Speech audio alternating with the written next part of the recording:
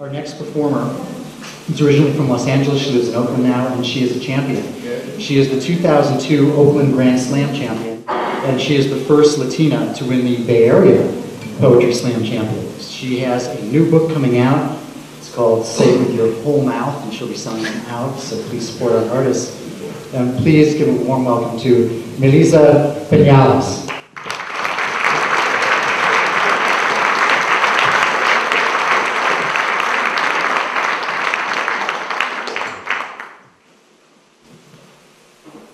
The equation goes something like this. One white mother plus one brown father divided by two different worlds equals a daughter. Give or take a decimal, the American dream turns out to be two half-white children, two full brown children, one small house in LA, four jobs divided by two high school educated parents. The quality of life is high, though the means is low. The numbers vary from memory to memory, like three. Three times a week I clean houses in rich neighborhoods to make my way. Folding sheets is difficult. Every house has one rich white lady with two dozen sheets times four beds, which equals ten ways to fold sheets so that they're perfect. Learning to fold sheets at least three to six ways means I can clean three to six houses a week, which equals rent, tortillas, and lettuce for the month. Going into one. One night a week, I go-go dance in a cage in a Hollywood nightclub. Ten dollars an hour, plus tips. I'm only 18 back then, and already I know the equation for lust. One bare acid face gets a 20. One crotch job earns a 50. One tongue licking cage bars while slowly gyrating hips equals I am the first in my family to go to college. then there's five. Five times a day I prayed through my seven-year-old body that my father would lose his Spanish accent. I was convinced that if he did, he'd get a better job and we wouldn't be poor anymore. I was convinced he just wasn't trying hard enough to say signals instead of singles or video instead of video. Five times a day I said my other prayers, my secret prayers, that I was thankful for looking the most white in a family of coffee-colored children, how I prayed that my brown blood wouldn't seep through my white skin so that I could learn English, get an education, make my parents proud of half-white, half-brown accomplishments. Five times a day times seven days a week plus two small hands clenched together in fear and ignorance equals a lifetime of trying to make halves a whole. You see, it's all in the numbers. These numbers that haunt my dreams make my past into single digits which have no common denominator. Just once, I'd like to write the equation for all the things I can never write about. For the three times my father took off work from three different jobs to see me in the school play. For the first and last time my sister told her abusive ex-husband that she didn't need him anymore and meant it. For the hundreds of times I saw my parents laugh until the tears rolled down their cheeks, even in a neighborhood of drugs and gangs for that one moment. I did see my father cry when I, the first in our family, received my college degree. You see, I am writing a formula for all numbers that have fallen on me.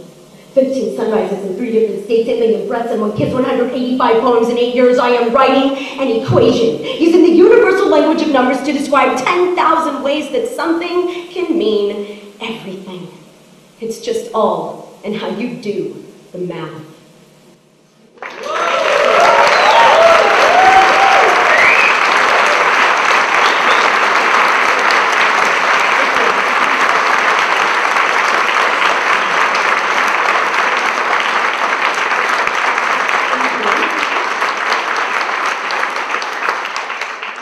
Hey, torpedo tits! The boys scream at me from across the playground. You weren't expecting that, were you? You see, it's fourth grade, and I'm the only girl with a 34B chest. Watch out! Here comes torpedo tits as my chest guides me through school like a teacher's pointing ruler. Large and obvious. Juan and all the other boys at Ramona Elementary have perfected the art of being bullies by coining the phrase torpedo tits, which has now become my new name. And as I walk down the streets of my childhood, I am reminded of every moment. Like the time I couldn't compete in the school Olympics because the t-shirts were too tight on me and the teachers thought it too inappropriate. Or the time I gave up on my dream of becoming a modern dancer because wearing a leotard was just too awkward and impossible. Or the time two teenage boys at the local YMCA held me down, ripped my shirt to fondle my breasts. Their fascination at the 10-year-old woman child before them, me thinking the whole time how I was going to get in trouble for ruining my favorite shirt. Or all the money my mother spent buying me bras, because like the Incredible Hulk, I just kept getting bigger and bigger and bigger. Until I thought I would fall over from the weight of the burden they were forcing me to carry. Or how when I was 10, I wished that I was a superhero and that my breasts would be used for good rather than evil.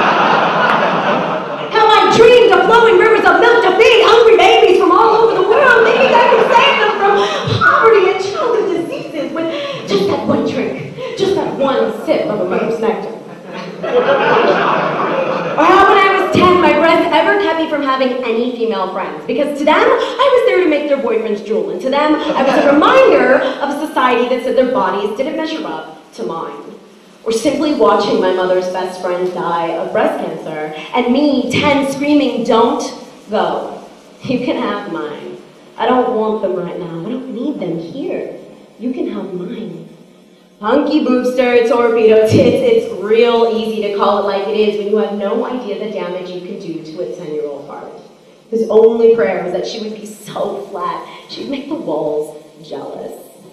And no, this is not another I hate my body poem, because the truth is, I do love my breasts, but it's hard when you're young, and you have no idea why you have to be so different, why you have to feel punished.